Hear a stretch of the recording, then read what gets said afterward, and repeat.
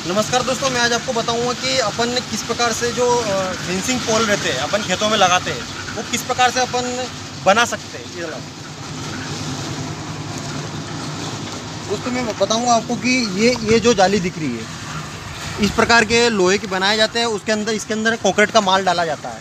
अब ये जो वायर है, ये डेढ़ एम के वायर है, ये चार वायर लगाए जाते हैं, इसमें ऑयल किया जाता है। ऑयल करने से ये क्या, जल्दी निकल जाते हैं।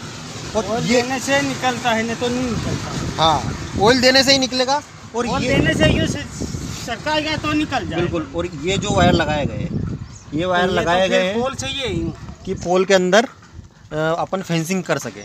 इसलिए ये वाले वायर लगाए जाते हैं। ठीक है बाकी आसपास दिखा दो। अब ये पूरे वायर कंस्ट्रक्टेड है। ये पूरे कंस्ट्रक्ट किया गया है। इनको तीन से दो से तीन दिन में निकाल लिया जाता है। ये देखिए पूरा प्लांट वायर का और एक मशीन चलाई जाती है रोज़ कम से कम पचपन पोल बन जाते हैं। ठीक है तो इस प्रकार ये अपन फेंसिंग पोल बना सकते हैं।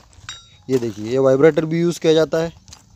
ये भी तो लाइट से चलता है ठीक है तो उम्मीद करता हूँ मेरे दोस्तों को समझ में आ गई होगी बात। ठीक है।